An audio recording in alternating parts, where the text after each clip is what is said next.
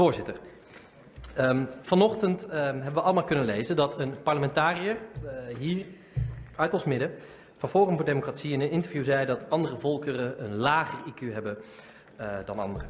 Voorzitter, ik vind deze uitspraken verwerpelijk. Ik vind ze on-Nederlands en wat mij betreft hebben ze alle kenmerken van racisme.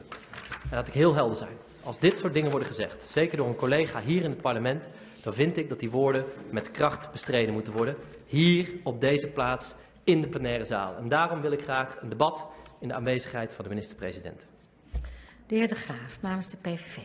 Dank voorzitter. De heer Klaver stelt voor om de minister-president een uitspraak te ontlokken over een uitlating van een parlementariër. Dat is de omgekeerde volgorde, dus dat klopt gewoon volgens mij niet. Maar daarnaast over de inhoud ervan. Dit leidt enorm af van het probleem wat we in Nederland hebben. En dat is de islamisering van Nederland en het kwijtraken van onze cultuur. Dus dat is het hoofdprobleem, dus geen steun voor dit debat.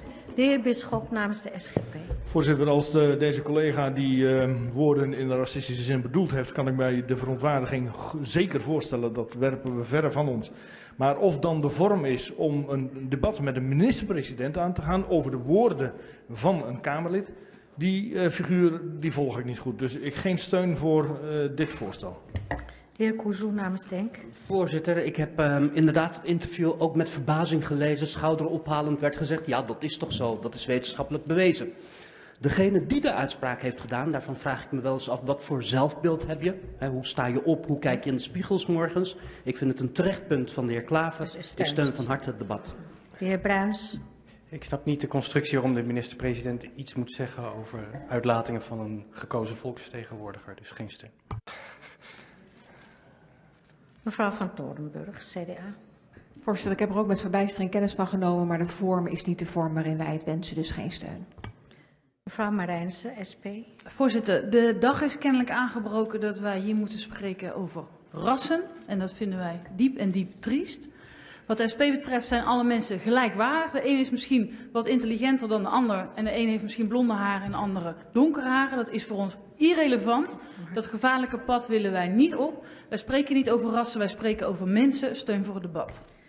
De heer Paternotte, namens de De uitspraken van de heer Hedema zijn volstrekt verwerpelijk, maar de constructie die de heer Klaver voorstelt om dat hier in de plenaire zaal met de premier te gaan behandelen lijkt ons vreemd. Als hij op zich dit als een probleem van discriminatie wil bespreken, dan kan dat ook, namelijk volgende week bij een AO-discriminatie dat al op de agenda staat. Mevrouw Thieme, Partij voor de Dieren. Voorzitter, het is ontzettend belangrijk dat wij hier in de Tweede Kamer, in de plenaire zaal met de minister-president spreken over racisme en over racistische uitlatingen. De heer Asser, PvdA. Voorzitter, ik steun de aanvraag van de heer Klaver wel. En ik vind het ook belangrijk dat de premier duidelijk maakt hoe hij erin staat. En dat zeg ik omdat de Rijksvoorlichtingsdienst heeft aangegeven dat minister Ollongren niet namens het kabinet sprak toen ze precies op dit soort uitspraken wees in haar daleslezing. Terwijl minister Ollongren op haar beurt zei dat ze als minister had gesproken.